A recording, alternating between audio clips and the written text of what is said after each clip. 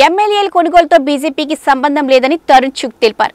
పట్టుబడ ముగ్గురు నిందితులకు బీజేపీలతో సంబంధాలు ఉన్నాయన్నది అబద్దమన్నారు సొంత ఎమ్మెల్యేలపై కేసీఆర్కు విశ్వాసం లేదని ఎద్దేవా చేశారు. రాష్ట్రంలో అరాచక పాలన సాగుతుందని విమర్శించారు.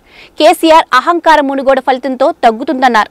మునుగోడు ఉప ఎన్నికల్లో బీజేపీ కార్యకర్తలు కష్టపడి పనిచేశారన్న చిక్ మునుగోడు ప్రజలకు కార్యకర్తలకు ఆయన ధన్యవాదాలు తెలిపారు. केसीआर के मंत्री विधायक मुनुगुड़ू में बैठे थे, पूरा सरकारी तंत्र, धन,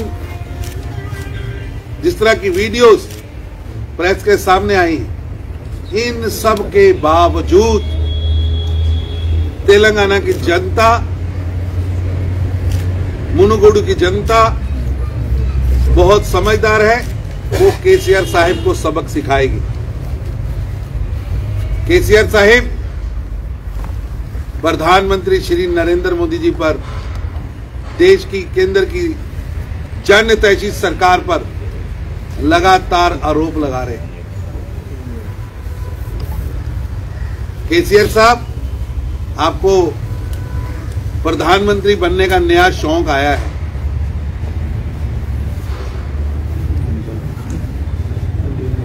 कोई किसी को रोक नहीं सकता, इस शौक को रोक नहीं सकता।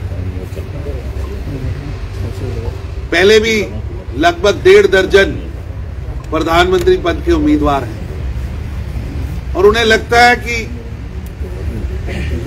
लोकतंत्र को धन से अपहरण किया जा सकता है। ये उनका वहम है। देश की 130 करोड़ जनता प्रधानमंत्री श्री नरेंद्र मोदी जी से असीम प्रेम करती है, असीम प्रेम करती है।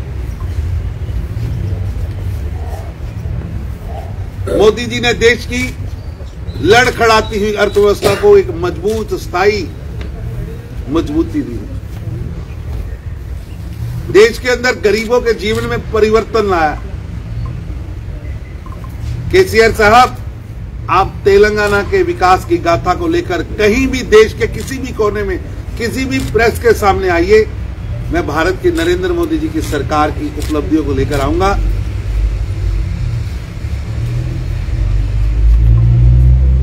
आपके पास बताने को कुछ नहीं। देश के अंदर 12 करोड़ गरीबों के घरों में रसोई गैस पहुँचा है।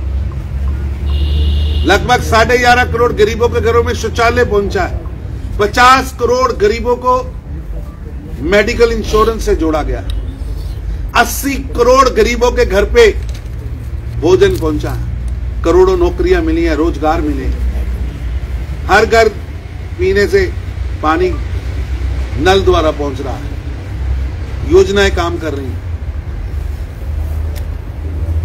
आपके पास बताने को कुछ नहीं है। आज भी तेलंगाना की जनता डबल बेडरूम दलित बंधु रोड इंफ्रास्ट्रक्चर पेंशन नौकरियाँ, सम्मान, उसके लिए आपके किए वादों पर इंतज़ार कर रही हैं और तेलंगाना की जनता ने मन बना लिया है कि केसीआर साहब बाय बाय केसीआर साहब बाय बाय अब जनता आपको तेलंगाना से मुक्ति चाहती है और निश्चित रूप से वो मुक्ति मिलने वाली है। तो मगर कल केसीआर ने वीडियोस रिलीज़ किए इसमें नड्डा बी एल संतोष अमित शाह ने उनका सरकार को गिराने के लिए ऐसा खर्च कर षड्यंत्र है है कि मैंने पहला मुख्यमंत्री देखा है जो टीवी पर आकर कह रहा है मेरे विधायक बिक रहे हैं मेरे विधायक बिक रहे हैं केसीआर की पार्टी बिक रही है। केसीआर साहब, आपने ऐसा कौन सा पाप किया है कि रात को सोते हुए में भी आपको लगता है मेरी पार्टी बिक रही है, मेरी पार्टी बिक रही है? ऐसा क्यों लग रहा है कि आपके हाथ से पार्टी स्टेट लोगों का दिल आपसे टूट चुका है? असल में आपके पाप बोल रहे हैं।